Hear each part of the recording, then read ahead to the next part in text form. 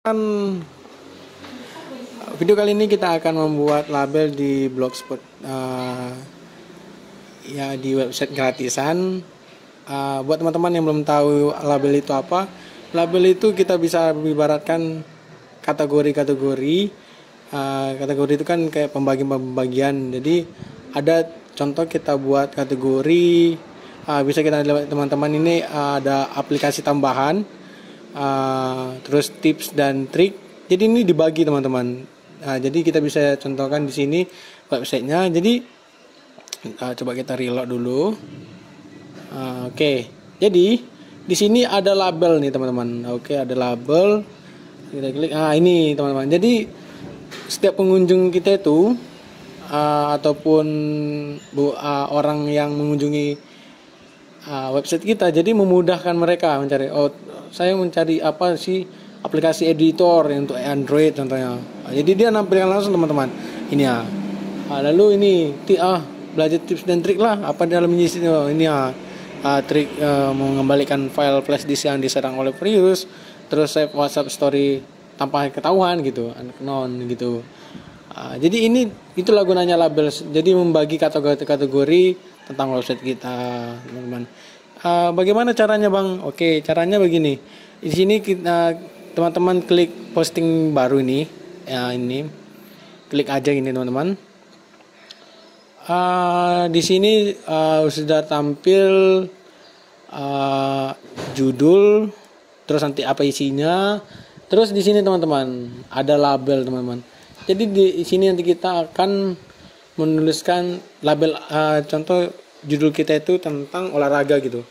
Cara bermain bola. Bermain bola. Oke ini kan uh, masuk dalam kategori olahraga kan teman-teman? Olahraga. Jadi kita, ada sini.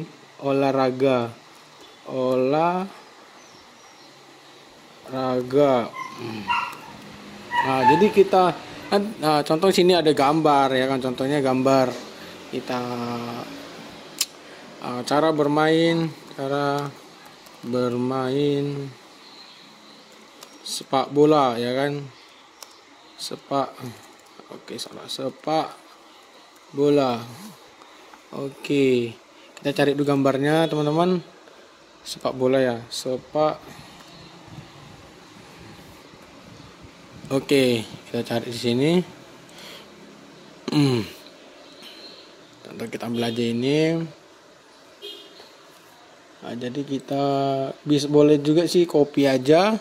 Tapi bagi teman-teman yang memang apa jangan langsung copy-copy teman-teman. Sini paste. Apakah bisa? Kita lihat dulu. Biasanya bisa sih. Oh, tidak bisa. Oh, kita harus kita download dulu teman-teman. Kita download dulu save as terus kita pergi ke download save oke kita berhasil baru kita di sini teman-teman sisipkan gambar oke terus upload dari komputer. Jadi kita ambil dari file komputer kita teman-teman. Ini tadi tersimpan di download. Oke. Kita tinggal upload. Oke pilih. Boom. Ini teman-teman. Jadi ini gambarnya teman-teman ya.